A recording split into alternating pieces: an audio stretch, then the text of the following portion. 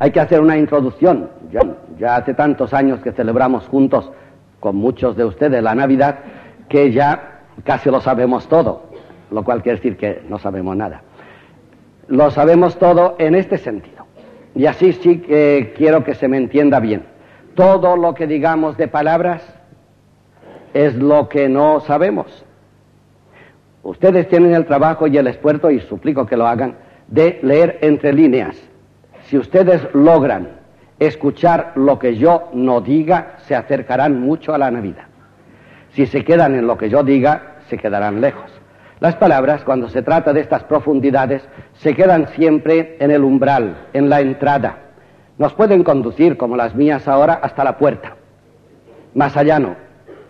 Si tú cruzas la puerta ya las palabras quedan mudas y arrugadas como juguetes rotos, tú te doblas de rodillas, inclinas la cabeza y sientes que la divinidad que está dentro de ti irrumpe por toda la sangre de tus venas.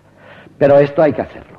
Así que yo haré todo lo posible para hacer lo menos mal posible lo que he de hacer, pero pongan ustedes todo lo que puedan y verán que Navidad se va construyendo, que pesebre se va construyendo dentro de su corazón.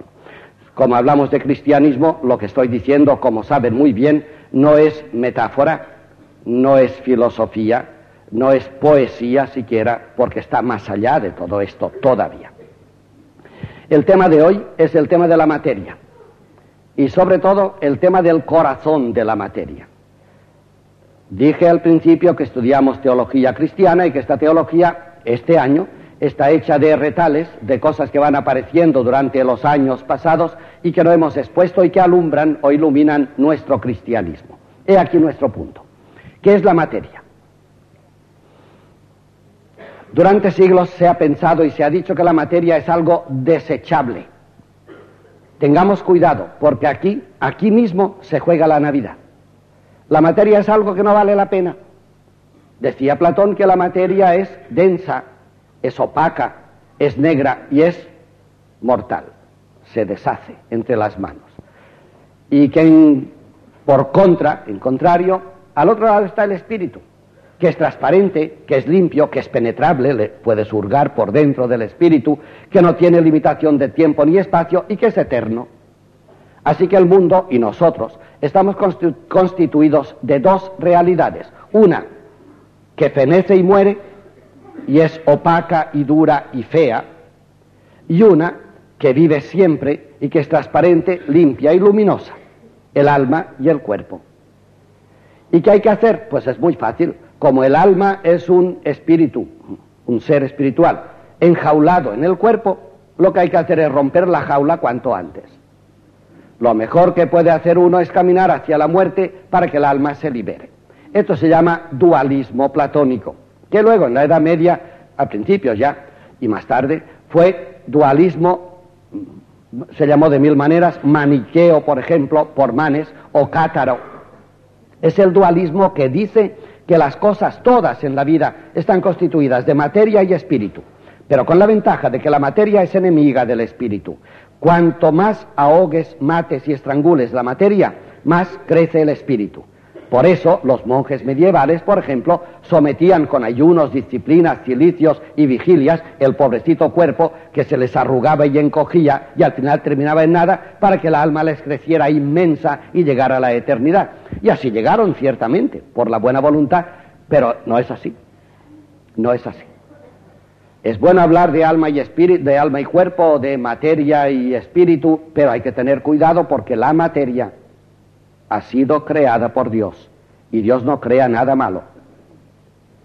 Así que si hay dos cosas, materia y espíritu, la materia y el espíritu han sido creadas por Dios y por el mismo Dios.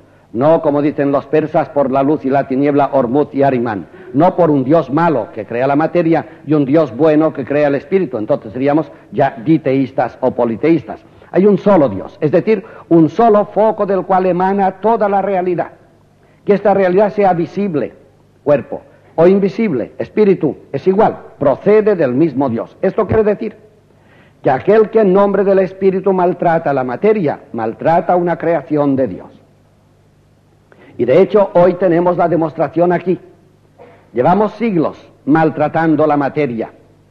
Y aquí tenemos el resultado. Es imposible vivir en nuestro planeta. Hemos devastado los bosques, hemos eh, em, envenenado las aguas, hemos enturbiado el aire, hemos hecho la vivencia y nuestra convivencia absolutamente imposible. No se puede maltratar la materia sin que el espíritu salga perdiendo seriamente. Pero, y aquí empiezo el, el tema que será la segunda parte, si la materia fuera mala, como decía Platón, Dios no puede de ninguna forma asumirla porque Dios no puede aceptar nada malo. Y sin embargo, el día de Navidad Dios se hizo hombre en un cuerpo de hombre que es materia. Este solo hecho destruye el platonismo en este aspecto. Platón es un divino maestro. Pero sin embargo, en este aspecto dualista ya está destruido. Solamente por el hecho de la encarnación de Dios. Si Dios se encarna en carne, es que la carne, que es material, es asumible por Dios. Y no solamente es asumible por Dios, sino que una vez que ha venido Dios a la tierra, el credo, que es el primer catecismo y el mejor, modestia aparte, el credo ya desde los primeros siglos puso al final un artículo que dice, creo en la resurrección de la carne, con lo cual está diciendo el credo primitivo y primordial, que si la carne no resucita, el hombre no resucita. O de otra forma, que para que haya resurrección de verdad, en la resurrección ha de estar la carne esta maldita carne que tanto nos hace pecar, como diría Platón o cualquier dualista, esta maldita carne forma parte de un artículo del credo que asegura que para que haya resurrección no se hace la resurrección con el alma, sino con la carne, la resurrección de la carne. Si en la eternidad hemos de tener carne o materia, es que la materia es buena. En la eternidad no hay nada que se deteriore, mucho menos que sea malo de por sí. ¿Qué es entonces la materia? Es aquí el tema de la primera parte de la lección de hoy que tenemos anunciada. ¿Qué es la materia? Sobre la materia, como acabo de decir, han disertado y han hablado infinidad de generaciones de filósofos, incluso literatos y desde luego especialistas en física o en química. Pero había de venir un tiempo, el nuestro, este triste tiempo nuestro, que es tan alegre sin que lo veamos, es, exactamente como si sobre un paraíso cae la noche. Como no ves nada y es todo negro, dices, qué maldita noche. Pero dentro de la noche hay un delicioso paraíso que tú no ves. Con que hubiera luz, todo cambiaría. Hoy estamos igual. Como se hace de noche en el planeta, y es verdad, todas las maravillas del planeta se han encogido en la noche, arrugadas en la oscuridad. Qué maldito tiempo estamos viviendo. Claro, estás en la noche te tropiezas por todas partes. Pero el día que se haga la luz, las mismas cosas que ahora tenemos, veremos qué profundidad y qué alegría entrañaban dentro. Esto se llama el corazón de la materia del que habló tanto y tan poéticamente Teilhard de Chardin. Tan inolvidablemente Teilhard de Chardin. ¿Qué es entonces la materia? Hoy, en esta noche del siglo XX, estamos descubriendo lo que es la materia gracias al materialismo, al fisicalismo, o si se quiere, a la física. He aconsejado algunas veces que los que tengan tiempo que lean a Capra, Fritjof Capra, el punto crucial. Es la materia vista desde la física. Con él hay que leer, y más fácilmente quizá, a Talbot, que es misticismo y física también. Fíjense qué temas ya, ¿eh? Misticismo, la mística es la quinta esencia de la evaporación de lo espiritual. Fíjense que espiritual debe ser la evaporación de lo espiritual. Ya es absolutamente... Bueno, pues el misticismo y la física van juntos. Otros ya, como Zukaf, por ejemplo, están por ahí mismo. Hay unas escuelas de física, sobre todo en Berkeley, en California, que están investigando la materia en profundidad. Sobre la fórmula de Einstein que expliqué el otro día, E igual mc al cuadrado, sobre esta fórmula la física, física, es decir, la física, física de physis, en griego significa el estudio de la materia. Lo no físico, la física no lo estudia. La física estudia lo físico, la materia. Bueno, pues metiéndose por los caminos de la materia, cuando llegan al corazón de la materia, ya descubren los físicos, no son los filósofos, ni los teólogos, fíjense, los físicos, digamos, los, los especialistas en materia, a fuerza de meterse para adentro con el, con el microscopio subatómico, cuando llegan ya más allá del átomo, a las partículas subatómicas, se dan cuenta con asombro de una realidad. La materia, cuando llegas al final de ella, a su última profundidad, se desmaterializa. Los pilares de la materia no son materiales. El corazón de la materia no es materia, es energía. Ya, vieron en la fórmula, es cambiable. Energía y materia, energía es igual a materia por el cuadrado de la velocidad de la luz de luz, pero es igual, son intercambiables. Hay una relación directa entre materia y energía.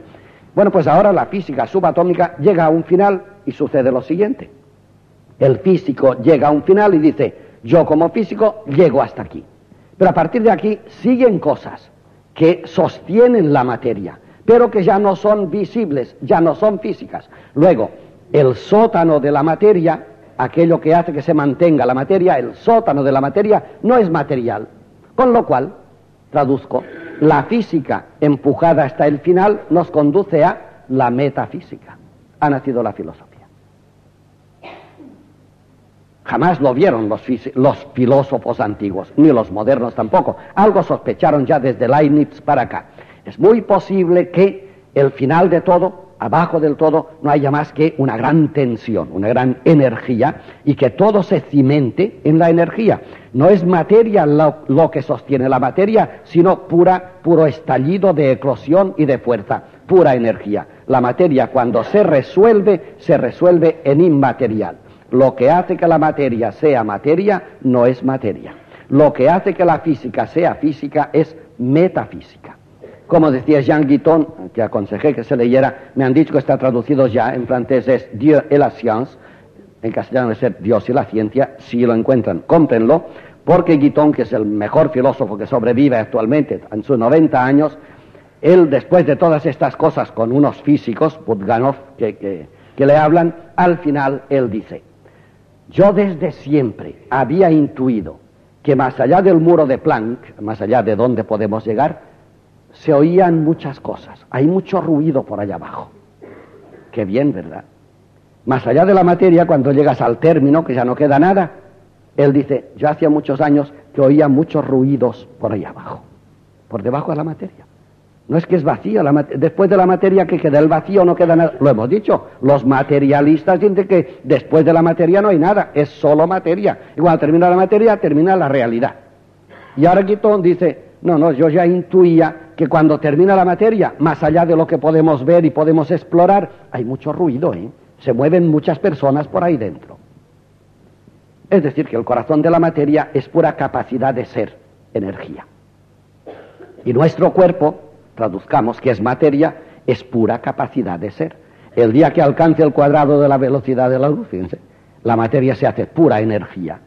He aquí que la materia se ha energetizado y puede ser la resurrección de la carne, por ejemplo. Una materia liberada, materia, pero liberada, llegada a sus profundidades, sin ninguna coartada, ninguna pared que corte ni el tiempo ni el espacio. Todo es para esta materia que además cabalga con el espíritu.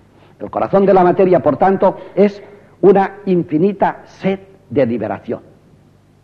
Y toda la materia gime, dice San Pablo, para que al final se libere esta creación nuestra, no solo el hombre, el cosmos entero, se libere, libere su inmensa energía, como hace ahora mismo el Sol, por ejemplo, libere su inmensa energía más allá del átomo, mucho más allá, hasta las profundidades donde la materia se resuelve en pura realidad y pura potencia, capacidad. Podría haber sido al revés, que la materia cuando se termina es como una candela que se apaga, se termina y al final se resuelve en vacío. Ya resulta que cuando la materia se termina se resuelve en plenitud, en totalidad de energía. Este es el corazón de la materia. Pero esto tiene mucha importancia. Y hoy vamos a verlo desde, segundo punto, desde la Navidad.